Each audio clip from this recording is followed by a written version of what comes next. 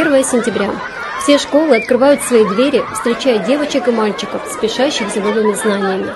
Начинается новый учебный год.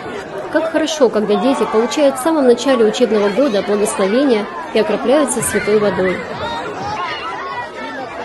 По уже сложившейся традиции, в этот день праздничную линейку в школе номер 89 и 87 посетил руководитель отдела религиозного образования катехизации Екатеринодарской епархии протерей Александр Игнатов.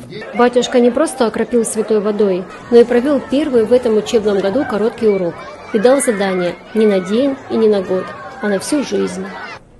Цель нашей жизни в чем?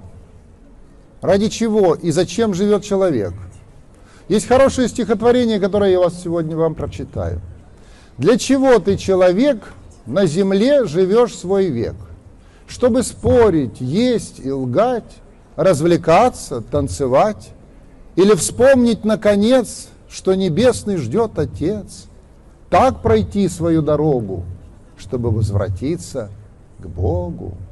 Итак, жизнь приобретает смысл только тогда – когда она имеет бессмертие. Каждый верующий человек, верующий в Бога, знает, что весь я не умру, душа в заветной лире мой прах переживет. Мы должны помнить о том, что у каждого из нас есть бессмертная душа. О ней человек и должен заботиться больше всего и, конечно же, уделять этому свое внимание. Ну а теперь задание, задание на всю жизнь. Есть такая пословица, не тот пропал, кто в беду попал, а тот пропал, кто духом пал. А теперь я повторю эти слова, которые, как в школе, повторяют все вместе. Запомните их, потом мы с вами вместе их произнесем. Никогда не падайте духом и никогда не давайте падать духом другим. Никогда не падайте духом и никогда не давайте падать духом другим. Желаю вам, чтобы были сильными, крепкими и всегда были готовы защитить Родину, своих родителей, свою школу и, конечно, свою веру православную. Поняли? Носите крестик, молитесь Богу и ходите в церковь. Хорошо учитесь, и помогайте друг другу, запомнили? И какой урок батюшка дал? Никогда не падайте духом и никогда не давайте падать духом другим. Молодцы! Праздником вас! По завершению торжественной линейки отец Александр принял участие в проведении классных часов младших классов.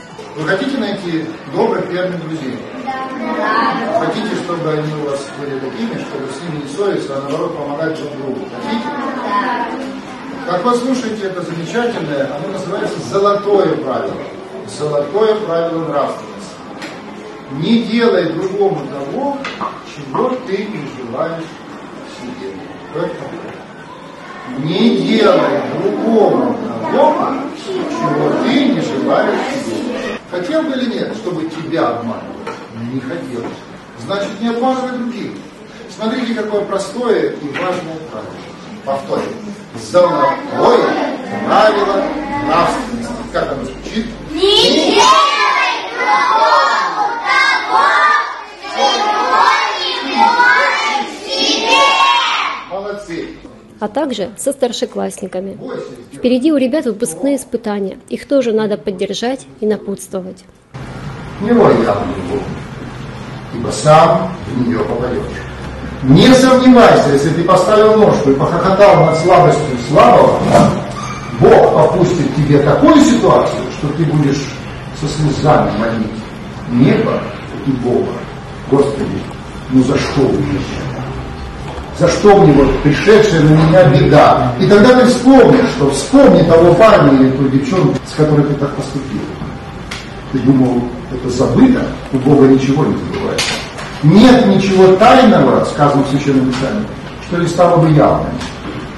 Нет ничего беззаконного, что не осталось бы без наказания. Я приведу вам замечательное слово святого праведного Кронштадтского.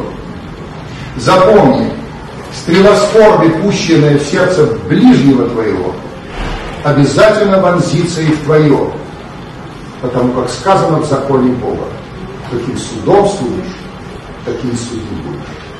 И какую мерою меришь, такую возмерят и тебе. Почему, ребята, никогда не делайте другому того, чего вы не желаете себе.